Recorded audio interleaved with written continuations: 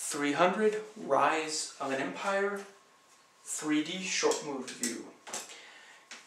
Taking place concurrently with 300, this shows Themistocles, the Athenian general, trying to hold the Persian invaders at bay, quite literally keep them from getting close enough to Greece to come ashore.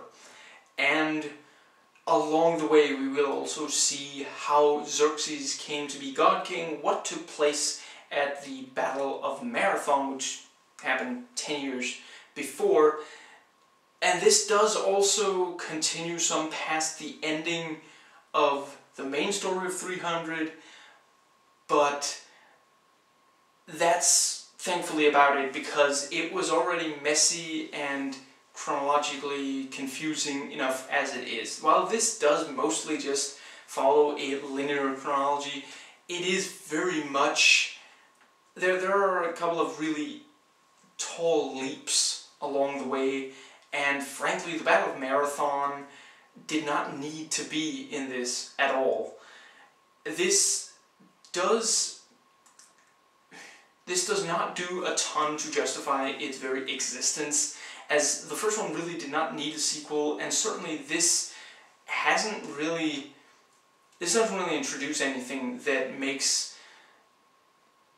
that, that changes that, where, where the first had certain morals and a significant historical kind of impact. This one is kind of just a couple more battles from the same overall war, and it, it touts of a united Greece and a defeat of the Persian invaders, but it doesn't fully, it, it feels like these are just buzzwords in order to make it sound like there's something more than just, you know, preventing them from invading Greece, which is an understandable goal, but also doesn't really make for an exciting action epic. You, you really want something more to be at stake.